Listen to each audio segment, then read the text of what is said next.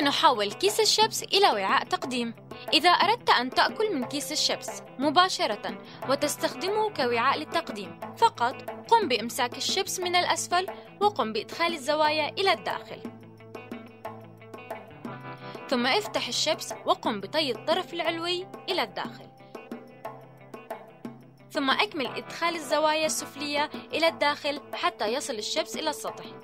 هكذا ليس عليك المعاناة من وقوع الشيبس وليس من الضرورة استخدام وعاء لأكله هل تعلم أن كيس الشيبس يحتوي على الهواء كما يعتقد الكثيرون منا؟ وإنما يحتوي على النيتروجين وذلك للحفاظ على قرمشة رقائق البطاطس